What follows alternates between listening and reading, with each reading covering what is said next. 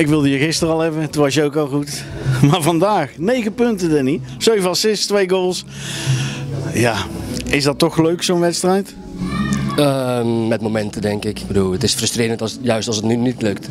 Dus soms heb je even een shiftje dat het een keer niet gaat. En dan, eh, dan is het even dat je denkt, holy shit, wat ben ik aan het doen. Maar ja, weet je, je moet ook hard blijven gaan, missen. Een beetje blijven gaan om hun ook een klein beetje respect te geven. Als je alleen maar gaat staan kutten, dan eh, is het voor hun ook nog kutter, denk ik. Ja, die gasten zijn al blij als ze scoren. Dat zei ze gisteren ook tegen ons. Ik had een interview met die goalie. Want die hebben aardig wat uitgehouden. Ondanks dat het eh 23-1 is. Maar ik geloof dat hij er meer dan 30 of zo gestopt heeft.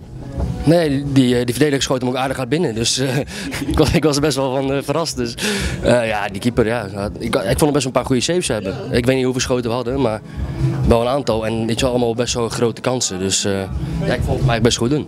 De eerste hadden jullie al 25, ik heb ook niet meegekeken. Want ik heb alleen maar staan turven. Danny, Jordi, Marvin. Ik, ik, ik moest ook, ik werd helemaal gek van turven. Ja, is niet bij te houden. nee.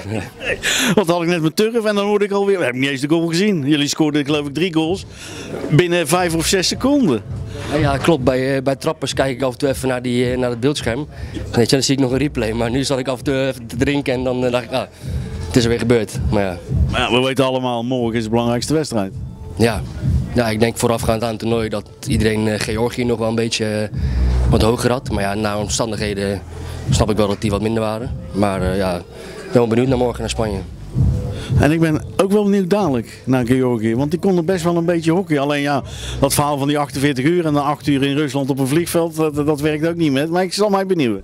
Nou ja, precies. Nu is het een beetje kijken wat zij kunnen tegen hun. En eh, weet je wel, hun wedstrijd gisteren, dat was ook niet in te schatten hoe goed ze nou waren. Dus ik ben benieuwd eh, hoe zij het dadelijk doen en dan morgen helemaal.